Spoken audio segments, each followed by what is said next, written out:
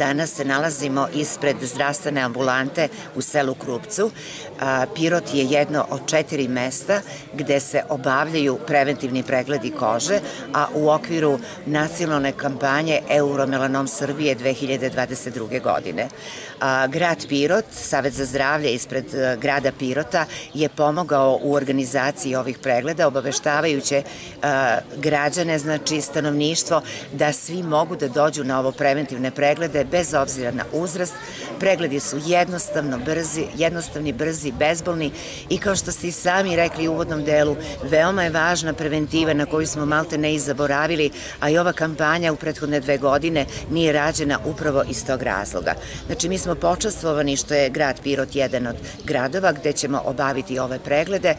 Udruženje dermatovenerologa Srbije organizuje ove besplatne preglede, a nacionalni koordinator, koordinator je profesorka Danica Tiodorović, koja, će, koja je jedan od lekara koji će danas obavljati ovde preglede. Zašto baš u Krupcu?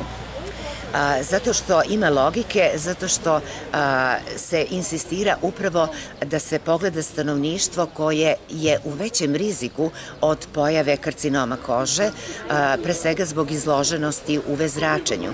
A, zato je ruralna sredina a, odabrana i upravo starije stanovništvo koje, mi znamo, je tako, da u selu ljudi obrađuju zemlju, borave na njivi, nemaju dovoljno, nekada ne razmišljaju o štetnosti sunčevih zraka.